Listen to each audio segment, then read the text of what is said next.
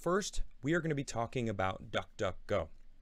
Now, I actually uh, made a false statement because I thought that uh, Google had something to do with DuckDuckGo. In fact, they do, but they have it's it's hearsay and it, they don't actually um, they're not owned by the same person.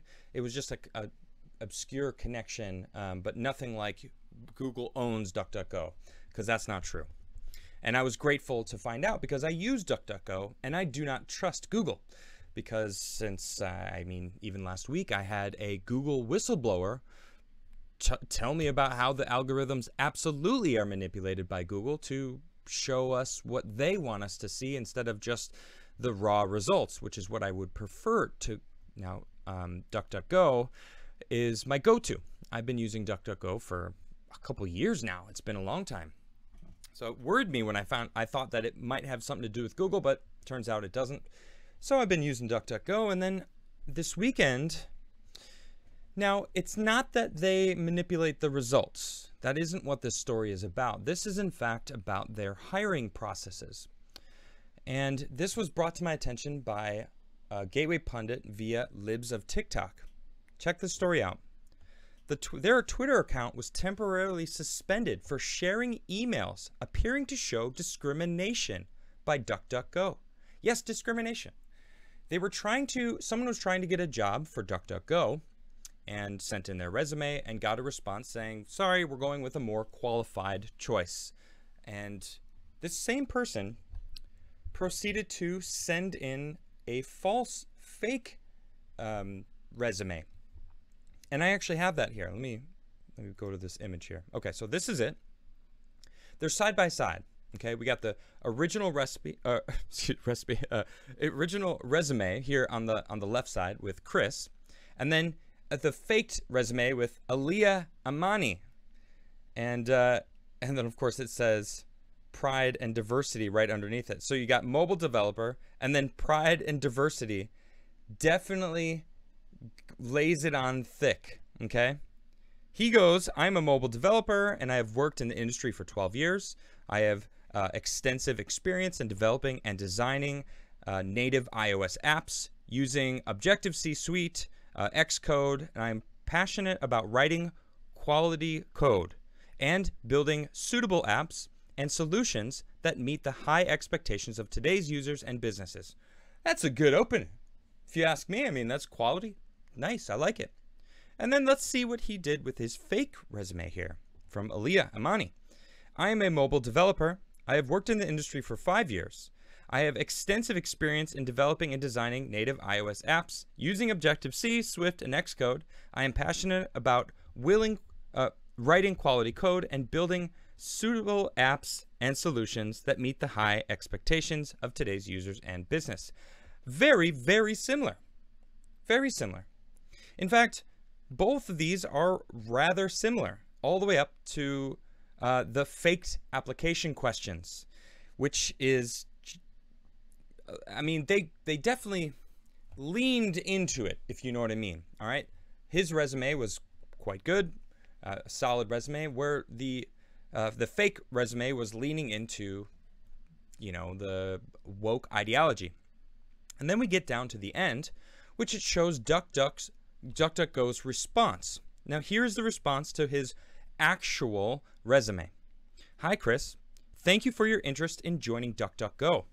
While we appreciate your application, we decided to move forward with other candidates whose skills and experience are closer matched to our requirements for this specific role. Feel free to check back as we are always adding new positions.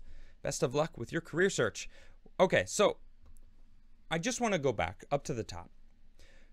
His real resume showed that he had more experience, uh, longer time in the industry, and the other person had much less experience in the industry. But as we see here, they actually moved the fake resume on to the next round.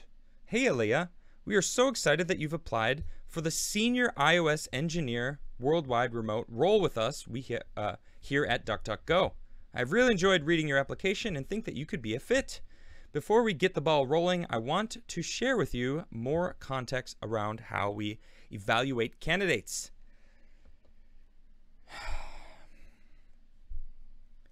They tokenized her. They chose her as a token. It's very clear. And that's what happened.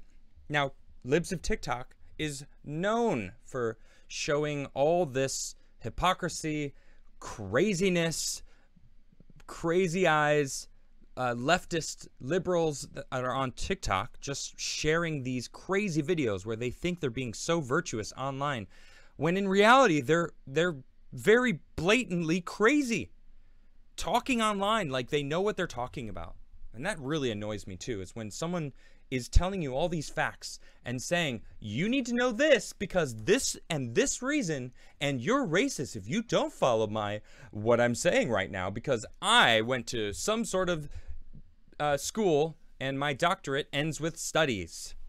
Mm-hmm. Or I'm sure none of them are actually doctors, uh, but they certainly act like they are doctors. But shout out to Libs of TikTok because it is a fantastic, fantastic Twitter follow. Anyway, so they they posted this picture, and they got suspended for it. Libs of TikTok has only um, existed for 11 months, but they already have over 300,000 followers. The viral video powerhouse has led to propagandist teachers being fired, abusive liberals being exposed, and much, much more. I just, I got to give a, a, little shout out to Libs of TikTok because they really are doing amazing work. Anyway, they posted this. Oh, well, what happened? They violate our rules against posting private information. Ah, you may not publish or post other people's private information without their express authorization and permission. And this was the tweet that they had to delete. Very interesting. At DuckDuckGo has some explaining to do, and they posted this picture, which is the one that has uh, the information. Now it does have Diana Co some Diana K. I don't know how to say her last name. Uh, actually, at her with her email address. So maybe that's what it was about. Like they should have um, covered that up, you know, redacted that part of it. Um, but at the same time, it's proving that it's actually someone from DuckDuckGo. Now they got this from 4chan. I, I believe that's where they got it. Yeah, on Sunday, Libs of TikTok tweeted out screenshots that were posted on 4chan of a user saying that they were rejected by a job by DuckDuckGo, but when they applied as a less qualified black lesbian, they were moved to second rounds of interviews. The user had included screenshots of their exchange alleging that they were passed over because they are a white man. Quote, I've been working as a mobile developer for 12 years. I'm a straight white male who knows what the F I am doing in my occupation, but lately I'm struggling to find another place to work, the 4chan user wrote. I applied for a job at DuckDuckGo and got told to go F myself right away. So I reapplied as a black lesbian, five years of experience, who can't program or spell. They are moving me to the second round of interviews. And here is the post from 4chan.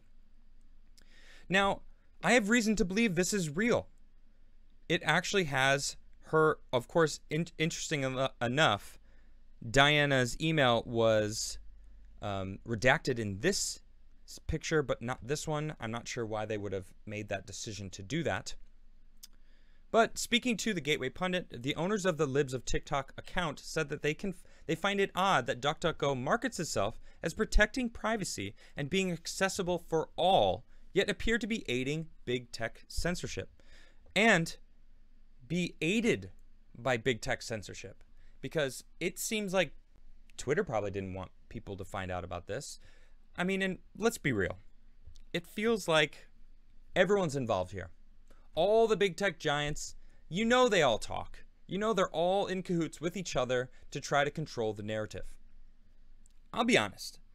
I was kind of suspecting a strike after um, basically calling out Google for the algorithms that we or myself has alluded to because I've talked about voter fraud. I've talked about all the things that I have over the past year. Those who watch my show regularly know I I kind of thread the needle, ride the line between what they don't like and what I can get away with. Right? Because I have gotten strikes for giving my raw opinion on um, COVID and the vaccines. You know, I'm not going to get into that right now, but I know that they have an algorithm that works in for their favor. okay? I, I know it. I had a Google employee last week explain it to me. Eight and a half years he worked there. And he left because of it. He was like, I can't do this. And went to Project Veritas in 2019. So I know it exists. So now we have DuckDuckGo, which I have been trusting to keep my information private, my searches private, to give me actual results instead of giving me fluff like Google does. I, I and I'm gonna I, I did it with uh, the Johnny Depp thing. Later on, I'm gonna talk about it because I, I went to Google and I was like, you know what? Let's just see what pops up. I, I like to see what pops up to see the difference between DuckDuckGo and Google. And there is a big difference. So I still tend to trust DuckDuckGo, but for how long? Everything woke turns to shit. Excuse me, my language. Uh, that is a quote from Donald Trump from a couple weeks back when he had a rally. And it certainly is true, isn't it? I mean, look at the NBA. Who watches the NBA anymore? SNL. Who watches SNL anymore? It's not even funny. It's just a bunch of activists shoving their ideology down their throat with a, an applause sign flashing. And everyone's like, oh, that's so good. They totally own those conservatives. It's not funny anymore. Too many people are waking up and their ratings are bombing.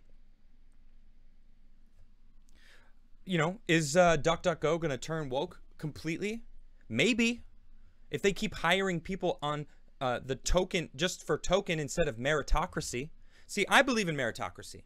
I think that's the way we should do things. Are you the best at the job? Oh, oh no. Are, are you a black owned business? Are you a, a, a woman of color whatever they they seem to need to push to the front. Doesn't matter. Is it the best product? That's what I want. I want the best product. I don't care what your skin color is. This is this is happening everywhere. I have I I've been around family. I have family that run businesses and they they are have higher ups that are telling them like you need to own you need to have a specific uh percentage of people of color now.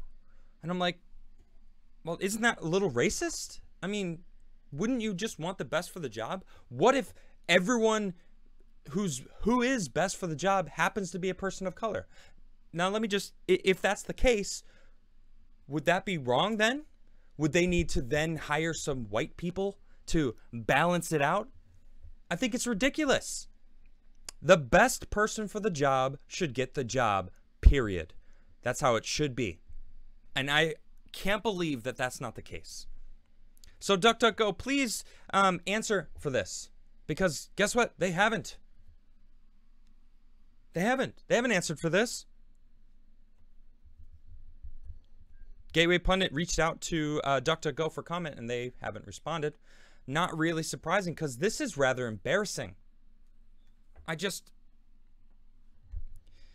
imagine being told you need help because you're not good enough. You're not you're not as uh, motivated to get a, a job, to gain experience, to get into a position. So we're going to just hire you because of your skin color. No, we're not hiring because you're good at the job. We're hiring you because of your skin color, because of your gender, because of your sexual orientation. Is that not demeaning? It is demeaning. At least for me, that's how I feel about it. It seems awfully demeaning. You are less than. They are the racist. The people that are adhering to this, that are going, all right, fine, we need a certain percentage of people. I don't even care if you're good or not. What's that going to do to our society? People are now going to look at these people that get the job and go, "You didn't even really get that job." It's and it's just going to be because of skin color, because of sexual orientation, because of the the ideologies that they're being pushed to just fill boxes. Okay, we got the token this person, we got the token that person. Well, does the machine work well? Does the business run smoothly? No, but that's okay. We got our diversity hires. Woo! Nice job, woke people. Well, they, they're running on emotions. They don't care. They think that they're getting victories. They think that this is what they needed. They're like, yes, we we have equality now. I'm sorry, equity. And that's really what it is. It's equity. It's not equality. It's it's pushing us back. It's making it harder for these people to be respected as a human being like everyone should be. Everyone should work hard to get the position. And if you if you work hard and you get the position, awesome, because you would deserve it. That's how it should be. So DuckDuckGo, shame on you. Shame on you for for choosing a fake profile that was a bait and you took it and ran with it because of diversity hires.